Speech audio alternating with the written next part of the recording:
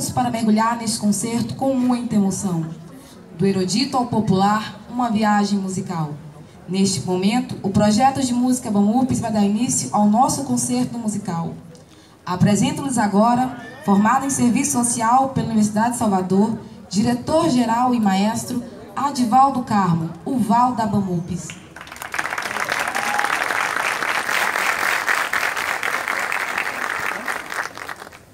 Apresento-lhes também, formado em Pedagogia pela Universidade de Salvador, coordenador pedagógico e maestro Irenildo Batista, o Nitão da Bamupes.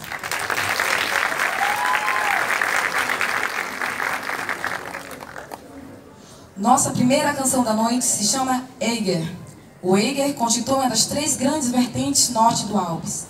Desde 1935, pelo menos 30, 66 escaladores morreram em tentativa de subida pela vertente norte, o que lhe valeu o nome de Parede Assassina.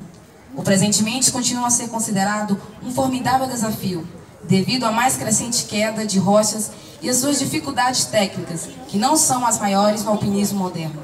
O compositor e arranjador James Ryan, maestro americano premiado internacionalmente, compôs essa peça orquestral em homenagem ao pai de um alpinista que morreu tentando escalar essa montanha.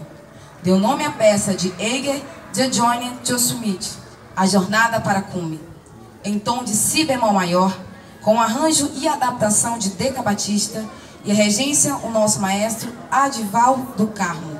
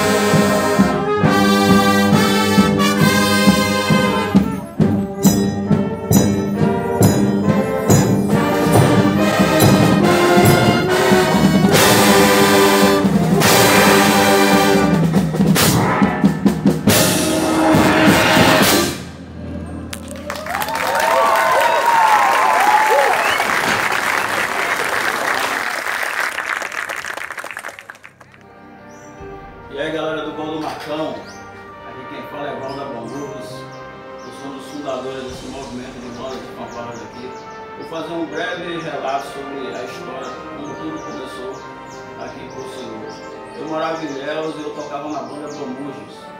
Tocava na banda Bambujas. No ano de 2000 eu vim para Porcelô. Aqui eu já conhecia a Nito, conhecia a Deca, que meus pais, os pais deles já eram amigos há muito tempo. Então, assim, quando eu vim pra cá, a gente já tinha um certo relacionamento, questão de amizade.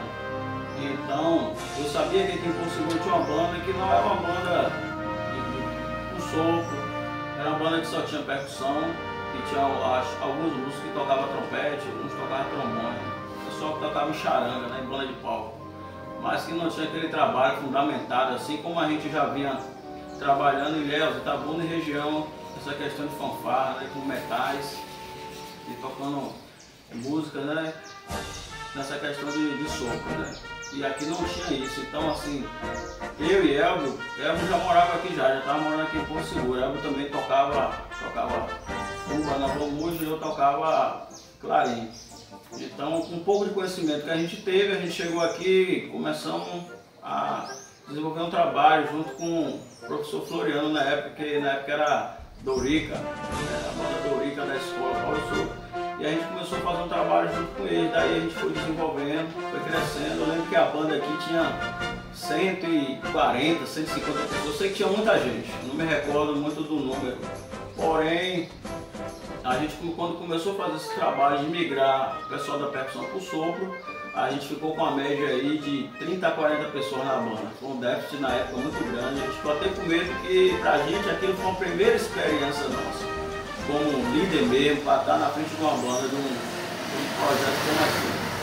Então, a gente quando começou a fazer esse trabalho, a banda ficou resumida entre 30 a 40 pessoas. Mas a gente teve amigos na época que abraçou a causa e acreditou que a gente poderia fazer uma banda melhor. E era o sonho deles, eles ter uma banda, que tivesse sopro também. Eles iam tocar nos lugares e o deles ficava só patucando, patucando, certo? Que era o que tinha na região na época, só tinha isso. Né? Então assim, eles tinham o sonho de ter uma banda com sopro e tal, tocando música também, como as outras bandas tocavam. A música foi premiada no Carnaval de 1964 de Rio de Janeiro gravada por Demônios da Garoa, sendo vencedora do Prêmio de Músicas Carnavalesca do quarto centenário do Rio de Janeiro.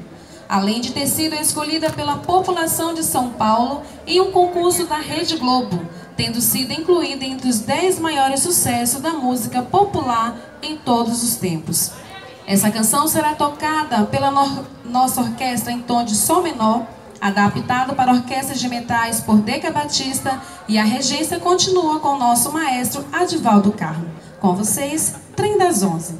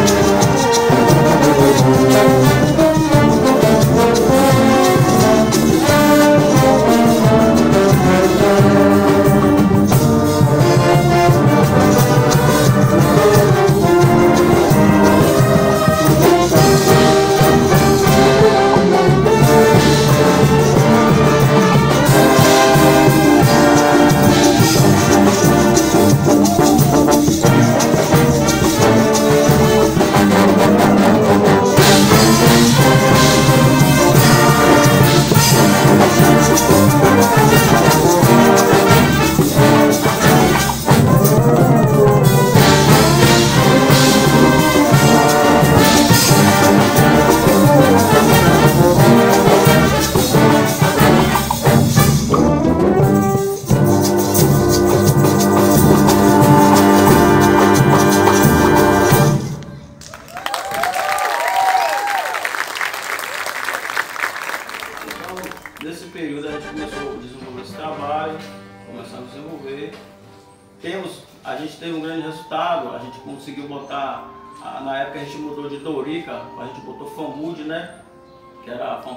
musical Dorica, né?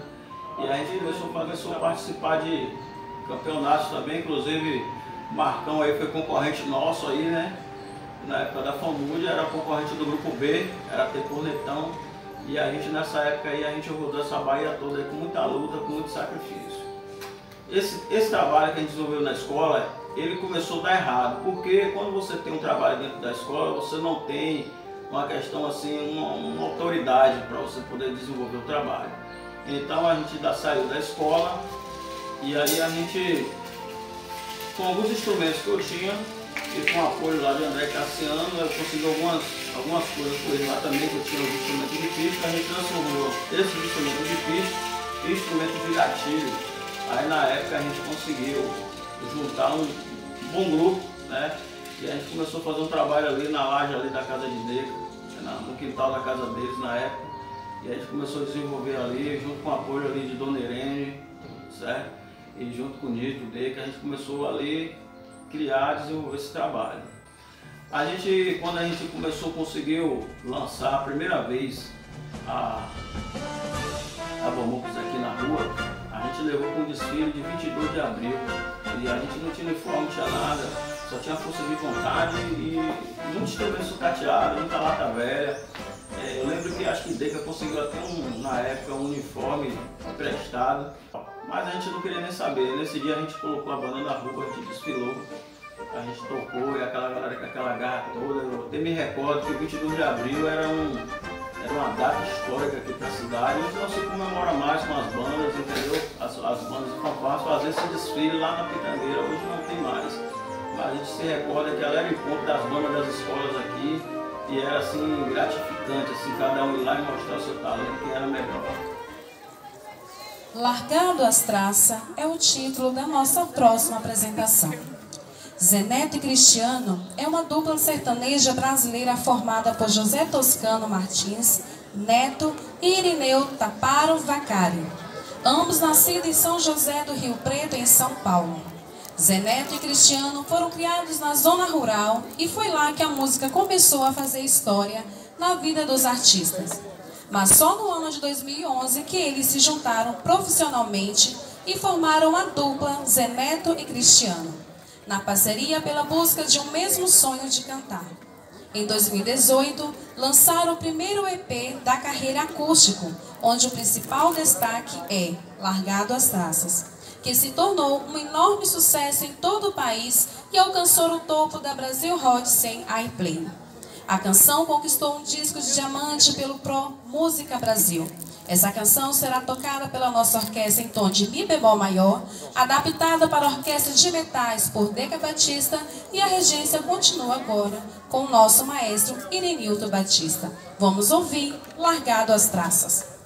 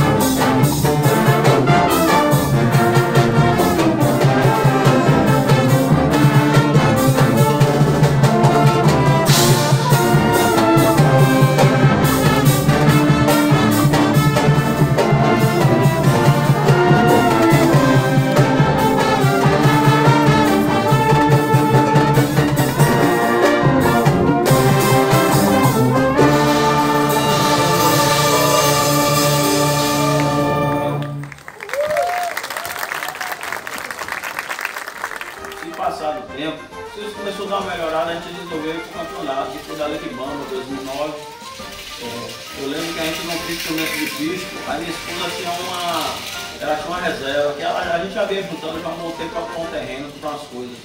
E aí eu fui pegando esse dinheiro dela ali com uma vontade imensa de ter uma banda. E eu fui pegando esse dinheiro dela, comprei tuba, comprei bombardino, comprei trompete, saí comprando um bocado de coisa. E ela sem saber. E aí passado o tempo, passado o tempo que ela descobriu, imagina a confusão, até hoje ela fala. Mas eu penso assim que é uma, coisa que eu gosto, certo? Valeu a pena para mim ter feito isso.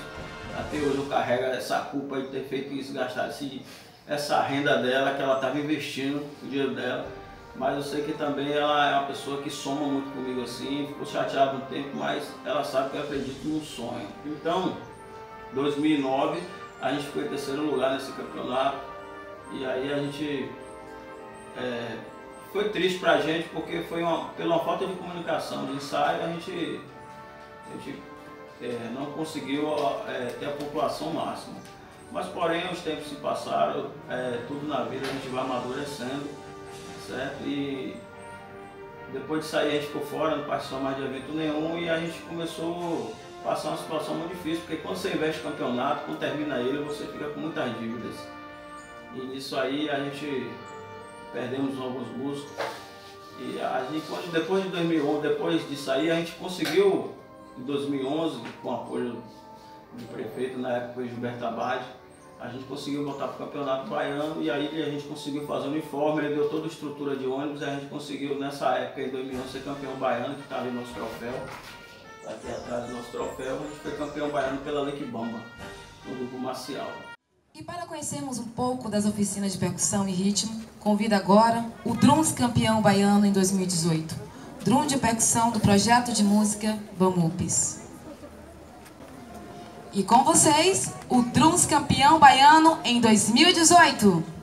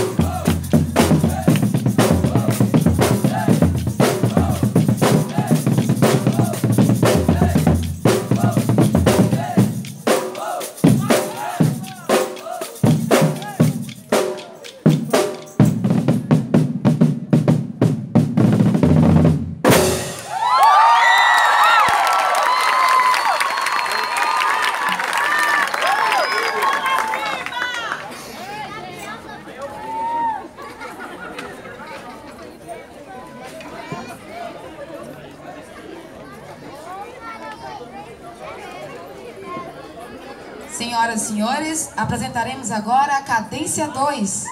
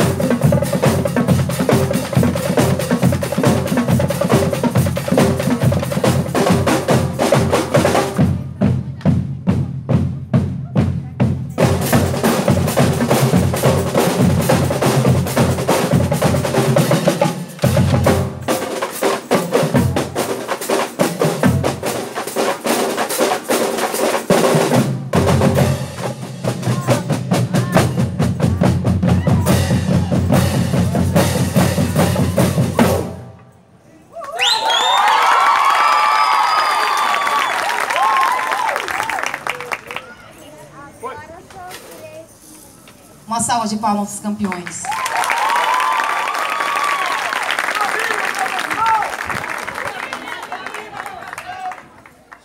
Alguns músicos foram embora, outros músicos foram tocar em outras bandas. E muita aí a gente, o material defasou. Como é esse material da China, é um material que ele não tem muita durabilidade. Então ele defasou. Então a maioria das pessoas foi embora e aí é, só ficou eu e Nito. E daí, Nito conversando comigo, ele falou, o Sapão, vamos, vamos tomar uma postura agora. Agora vai ser a hora da gente tomar uma postura. A gente não tinha muita habilidade na questão musical. Eu sempre fui um grande administrador e eu reconheço isso.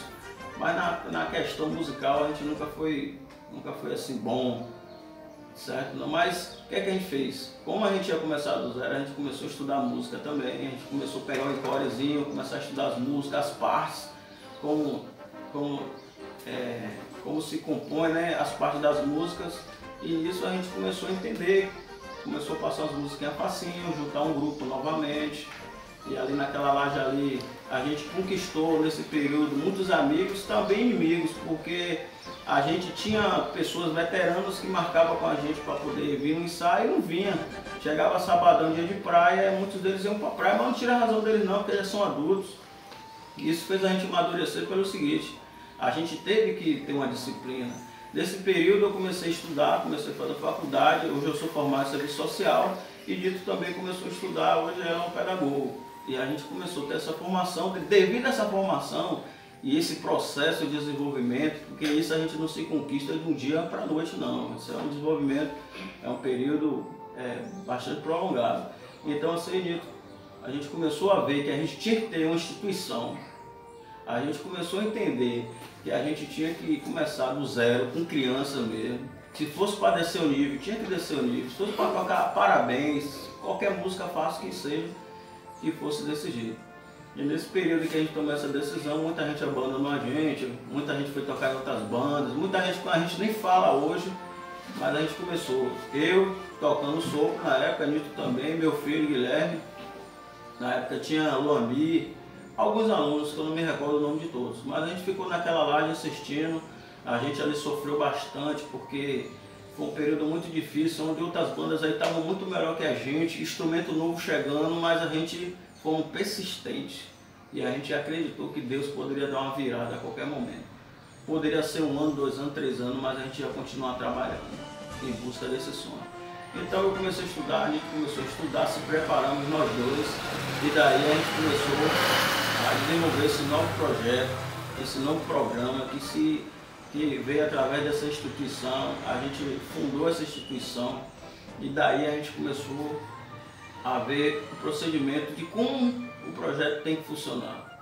Aquele projeto que a gente tinha de juntar aluno, veterano, só no sábado e no domingo, aquilo ali pra gente defasou. E a gente tinha que entrar com algo novo que desse certo. Fomos criticados, até hoje somos muito criticados por esse projeto, entendeu? por essa metodologia de ensino, de trabalho que a gente tem, mas a gente tem pesquisado e onde tem plantado essa forma de trabalho tem dado resultado. Hoje a gente trabalha com jovens de 10 a 17 anos. Tem alguns adultos, sim, tem, porque foram alguns veteranos que na época continuou e estão, estão até hoje, mas a nossa prioridade hoje são jovens de 10 a 17 anos. É um jovem que está aí ó, em risco certo? da criminalidade, ele está em risco social, então essa, esse é o público que a gente atende aqui. Essa canção será tocada pela nossa Bamups em tom de Mi bemol maior, adaptado para orquestra de metais por Deca Batista e a regência é do maestro Irenildo Batista. Vamos ouvir Dona Maria.